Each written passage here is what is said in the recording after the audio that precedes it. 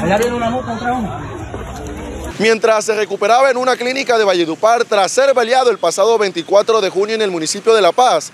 Fue capturado por la Policía Metropolitana Carlos Alberto Mieles alias Talo, a quien se le relaciona un asesinato de un hombre registrado el pasado 19 de mayo en dicho municipio. Debido a esto, Mieles de Ángel deberá responder ante la justicia por los delitos de homicidio agravado, fabricación, tráfico y portes de arma de fuego o municiones.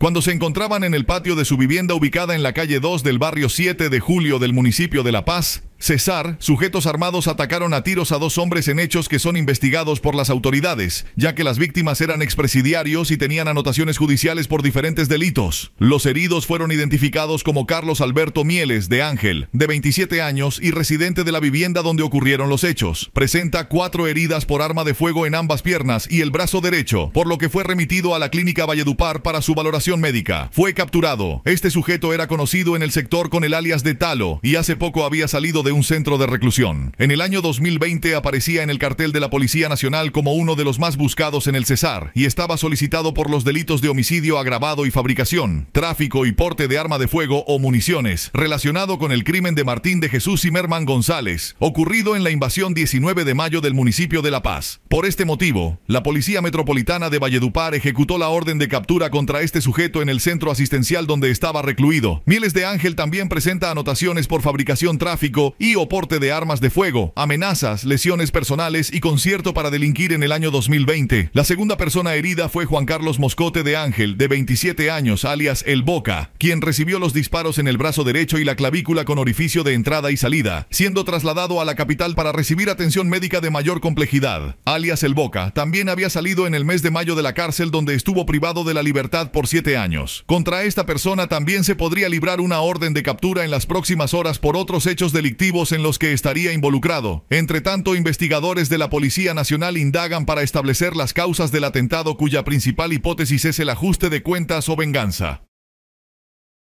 El ICBC es una institución que marca la diferencia.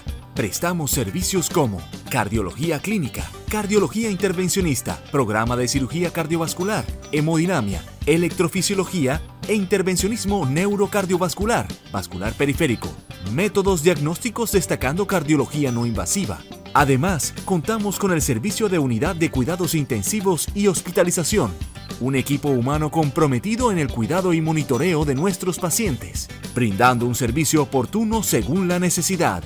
Nuestro lema es Por el corazón del valle. Le ponemos el corazón para el bienestar de nuestros pacientes. Somos el Instituto Cardiovascular del Cesar.